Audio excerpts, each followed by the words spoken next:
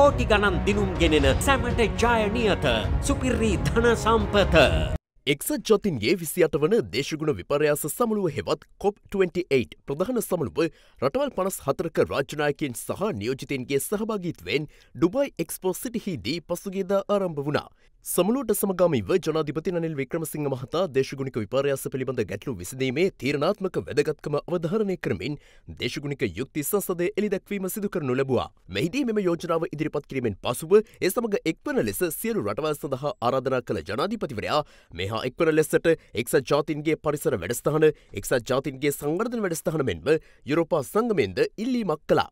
මෙහිදී අදහස් දක්වූ එක්සත් ජාතින්ගේ පරිසර වැඩස්ථානයේ විදායක අධ්‍යක්ෂ ඉන්ග ඇන්ඩසන් මහත්මිය දේශගුණික විපර්යාසයන්ට එරෙහි සටනට අවශ්‍ය ක්‍රියාමාර්ග සහ වර්තමාන ප්‍රයත්නයන් අතර පවතින විෂමතාව අවධාරණය කර තිබුණා.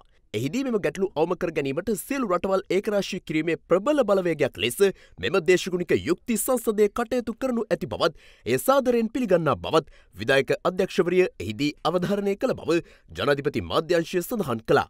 එමෙන්ම මෙම යෝජනාව එහිදී ලෝකනායකින්ගේ ඇගීමටද ලක්ව තිබෙනවා. මෙතර කොප්28 සමුළුවට සමගාමීව ජනාධිපති රනිල් වික්‍රමසිංහ මහතා සහ බ්‍රසීල ජනාධිපති ලොයිස් ඉනාසියෝ ලූලාද සිල්වා මහතා අතර හමුවක් සිදුව තිබෙනවා. එහිදී නිවර්තන කලාප වැඩස්ථානට එක්වන ලෙසටත් නුදුරේදීම ශ්‍රී ලංකාවේ සංචාරයකට එක්වන ලෙසටත් ජනාධිපතිවරයා බ්‍රසීල ජනාධිපතිවරයාට ආරාධනා කර තිබුණා. සැමට ජයනියත සුපිර්රී ධන සම්පත.